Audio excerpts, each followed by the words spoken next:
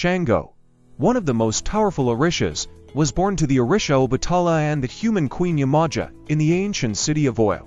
His birth was marked by thunder and lightning, signaling his future dominion over storms. As a child, Shango showed extraordinary strength and a fascination with the elements. He was trained by powerful Orishas and learned to harness his abilities, mastering the art of summoning thunder and lightning.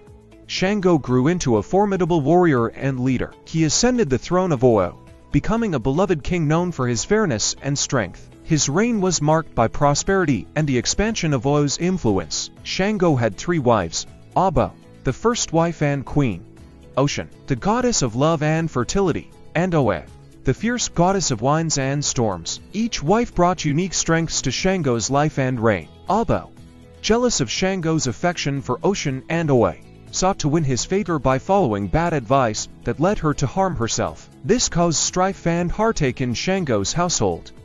Shango's temper was as fierce as his power over thunder. When angered by betrayal or injustice, he would summon storms and unleash his wrath upon those who wronged him or his people. Shango faced betrayal from within his court, leading to a rebellion. His once loyal subjects turned against him, and he was forced to flee.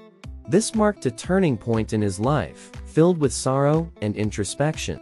Realizing his time as a mortal king was over, Shango performed a ritual sacrifice, transforming into a powerful deity. He ascended to the heavens, taking his place among the Orishas as the god of thunder and lightning. As a deity, Shango watches over his people, ensuring justice and protection. He is invoked during storms and battles, and his presence is felt. Through the thunder and lightning he commands. Shango's legacy endures in the hearts and traditions of the Yoruba people.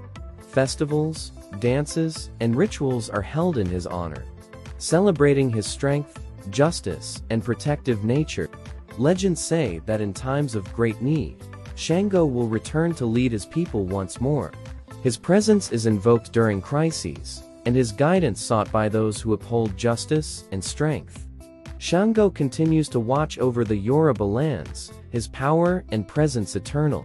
His story inspires strength, resilience, and the importance of justice, making him a revered figure in African mythology. These scenes and image prompts capture the essence of Shango's story, highlighting his journey from a powerful king to a revered deity in Yoruba mythology.